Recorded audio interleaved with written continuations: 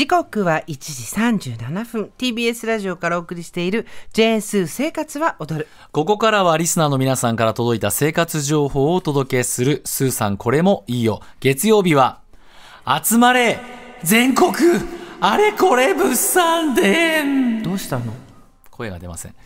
地元民にはおなじみの商品やどのご家庭でも食べられる郷土料理などリスナーの皆さんにご当地の生活情報を教えていただきます。では早速参りましょう今日は沖縄県のお菓子についてお便りが来ています、東京都青梅市ラジオネーム金の羊さんです。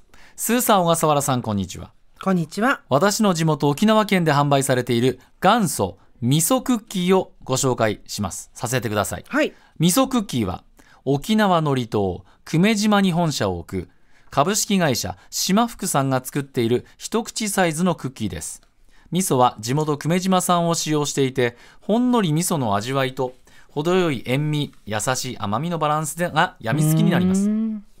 口の中で優しくほど口の中で優しくほどけるクッキーなので食べやすくコーヒー紅茶お茶何でも合います。地元に帰ると必ずと言っていいほど大量に購入して帰ります。ぜひ皆様に味わっていただきたい一品です。へえということで今日は沖縄県の離島久米島のお菓子株式会社島福さんの元祖味噌クッキーです。これはコーヒーに合いそうです。どなたかコーヒーお願いします。あのさ あのは私たち、ええ。沖縄に行ったことどちらもあるじゃないですか、はい。だけど小笠原さんも私も知らなかったよねこれ知らなかったこれ。ねえびっくりした。あのねおばあちゃんが赤いお座布の上に座っていて沖縄久米島の味噌クッキーって書いてあるんですけど、まあまあ目立つしね全国菓子大博覧会金賞とうん。真ん中に刻印のようなね印がありますんで。久米島行ったことある？久米島僕ねあのあれです。野球のキャンプでゴールデンイーグルスはそこでね。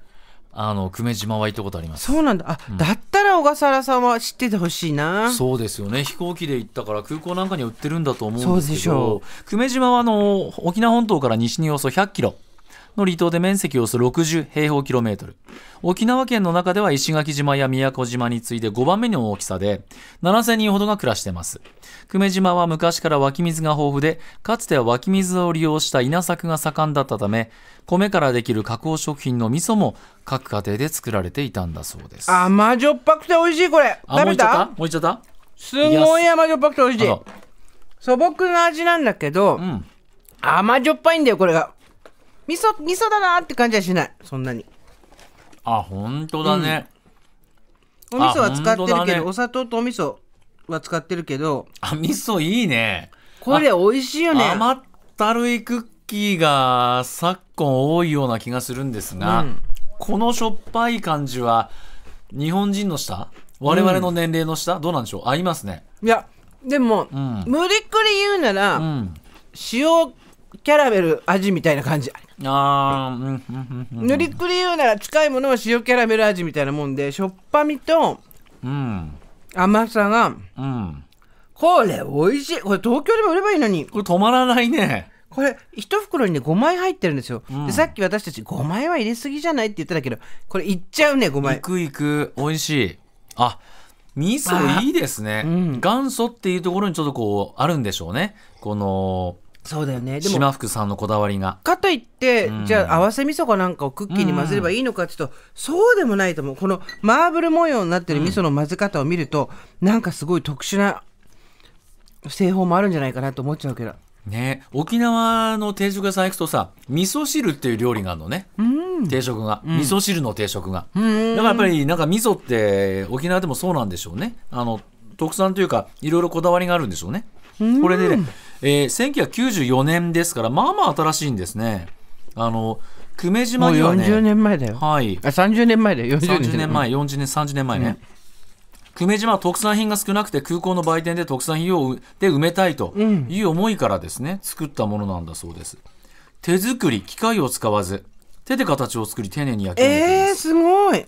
これ久米島のみならず県内では知らない人がいないほど地元に愛されている大ベストセラー商品。